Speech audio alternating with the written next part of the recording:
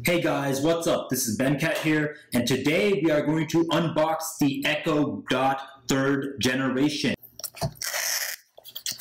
As you can see, there is a tab right here built in. All you gotta do is just peel it off. The Echo Dot is right there at the top. This is your literature packet right here. Underneath, we have your cables.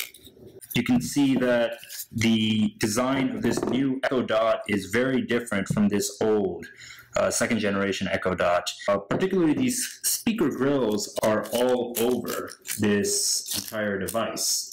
This third generation is undoubtedly larger than this second generation right here. Looking at the top right here, you can you can see that the buttons are practically the same. The design for the mute which is kind of different a bit, but that's about it. Third generation Echo Dot comes in three different colors, charcoal gray and sandstone.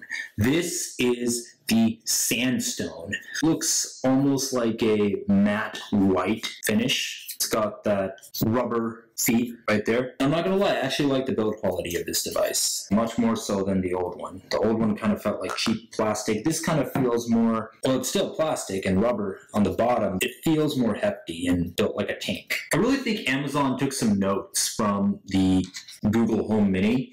They decided to put speaker grills around this device because the last device had some serious issues with its speaker. It just wasn't loud enough. This one, I feel like is going to be very different when it comes to the sound quality. I also hope that the microphone is much better than it was on the second generation. The setup process is relatively simple. All you've got to do is take this plug right here, put it in the outlet, connect this adapter, adapter to the back of the Echo Dot right there. And voila. After connecting to Wi-Fi, the Echo Dot is set up. Hey Alexa, what's the weather like? Right now in Austin, it's 69 degrees Fahrenheit with mostly sunny skies. Throughout the day, you can expect more of the same, with a high of 70 degrees and a low of 58 degrees.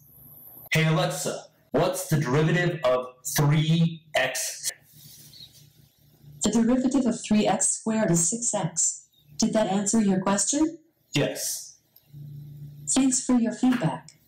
So that's about it, guys. This has been the unboxing of the Echo Dot third generation. Be sure to be subscribed to this channel to watch for the upcoming full review.